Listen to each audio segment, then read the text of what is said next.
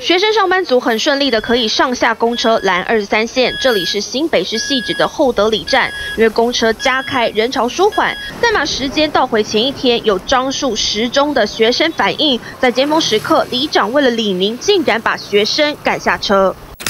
社群私讯被公开，里头讨论里长在厚德里站等满人的蓝二三公车，上车叫张树的学生下车走去学校，不下车就要跟学校告状。因为他们到下一站，这里的人全部没有办法上车。啊，里里长是用拜托的，哦，拜托说，哦，哦，是不是可以，哦，在在这里再站下车？对我们樟树十中的同学感到，哦，观感不佳或是困惑，我真的再一次九十公的。提供说声对不起。很多学生都会在樟树国小站下车，不过现在有人指控里长竟然要求他们提前一站下车。不过里长解释，其实两站的距离非常近，而且只差了学校将近一分钟的时间。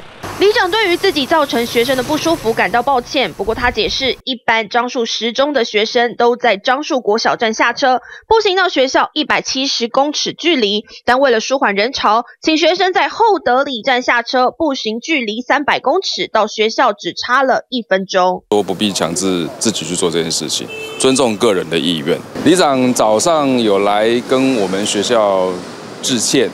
哦，说这样的状况造成学校这边困扰，请我们能够见谅。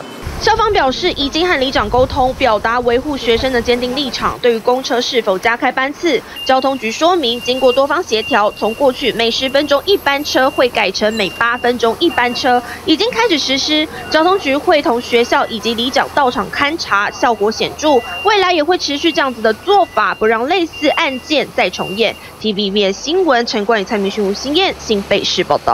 网上看新闻，请下载 TVBS App 或直接按订阅 TVBS 新闻频道。